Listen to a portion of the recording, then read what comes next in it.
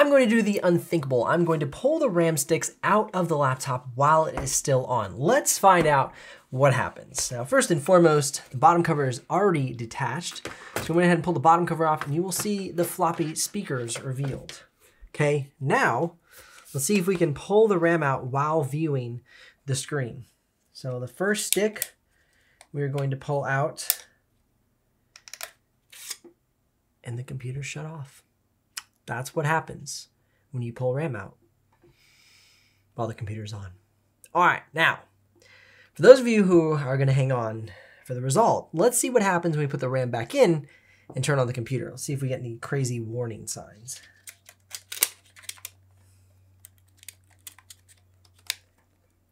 to close the computer.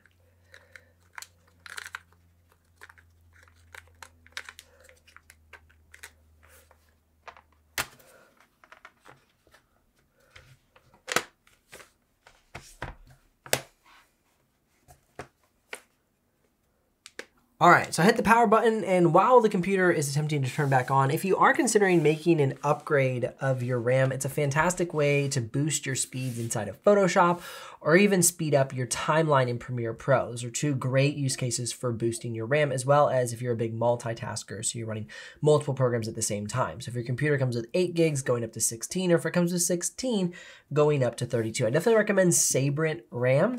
You can check them out in the description below. They're a great opportunity of a good quality RAM that's fast and also a good price point. Okay, computer is still not turning on. That's not a good sign. Okay, so what I'm gonna do now is hold the power button to force a shut off. Maybe it went into like emergency mode. So we'll let the computer shut off and then we'll try and power it back on again. Okay, here we go, power back on again.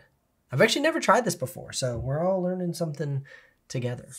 All right, so computer power is back up. So far, seemingly no issues as far as I can tell.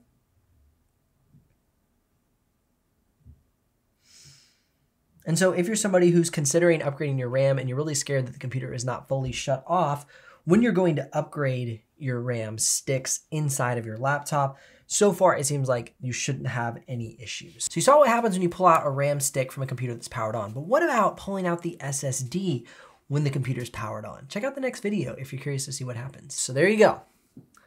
If you're somebody who's considering upgrading their RAM and you're nervous about the computer being on or off when you go to upgrade your RAM, try and make sure your computer's off. But if for some reason you didn't get the laptop to turn off and you do upgrade the RAM while it's still on, your computer will be fine. If you totally disagree with this video, comment below, let me know how crazy you think I am for doing such a thing, and I will see you all in the next video.